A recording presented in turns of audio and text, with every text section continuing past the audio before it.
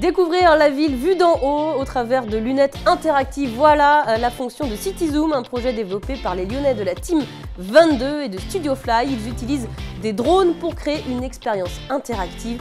On en parle avec euh, Jérôme Schmider, le directeur créatif de MH3 Design et membre de la Team 22. Bonjour François. Bonjour Jérôme Schmider.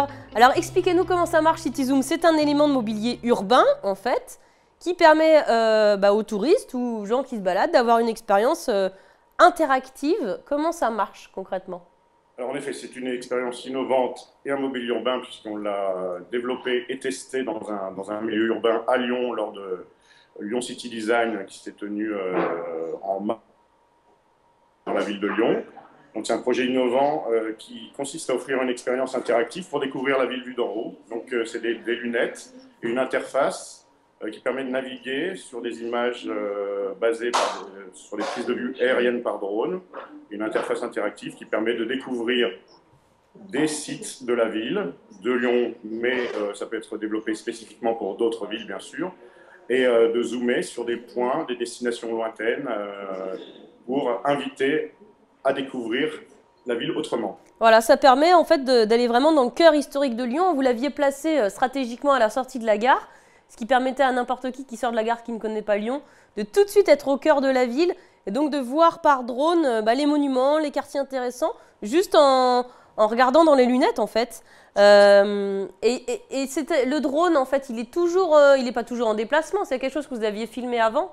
En effet, donc le mobilier, on l'avait placé donc à la sortie de, la gare, qui est un lieu de, fort trafic, mais qui n'offre pas de vue directe sur la ville, car la, gare de Lyon-Pardieu est actuellement un peu déconnectée du centre historique.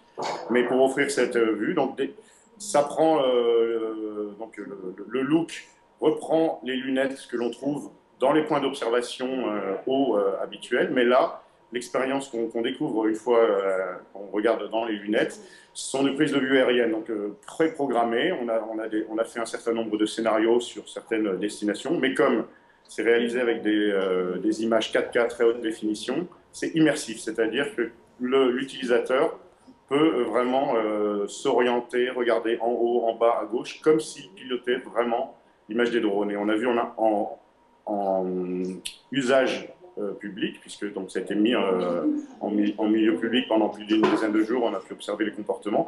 Les gens se demandent vraiment si euh, c'est eux qui pilotent un drone actuel, tellement c'est réaliste et immersif. Voilà, d'où ma question de savoir est-ce qu'il y a vraiment un drone toujours au-dessus de nous ou pas, sachant qu'on connaît maintenant les réglementations très strictes.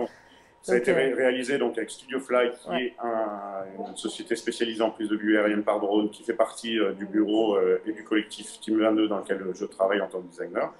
Euh, tout a été réalisé dans des conditions de, sécurité avec du matériel euh, bah, de, très très bonne qualité.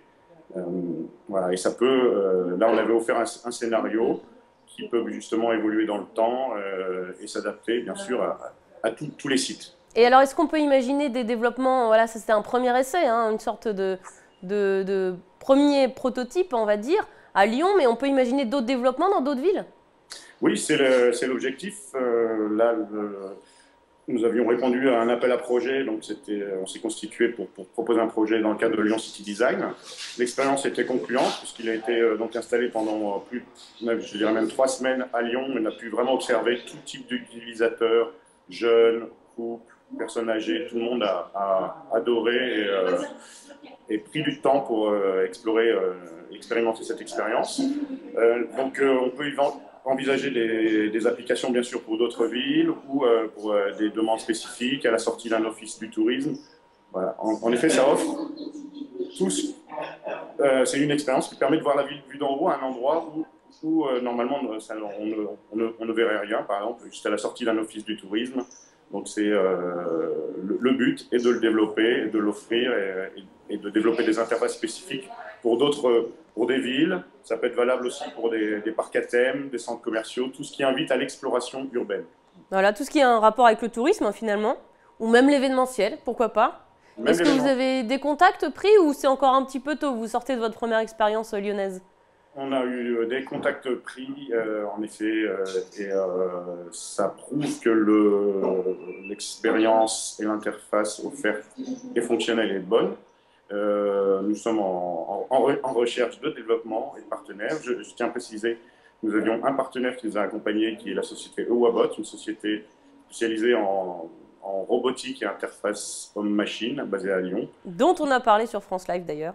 Très bien, et donc qui est très actif et qui nous a, qui nous a aidé à, développer cette interface. Après, pour, pour aller plus loin, euh, bah, nous sommes prêts à, développer euh, justement des, des expériences spécifiques pour d'autres sites.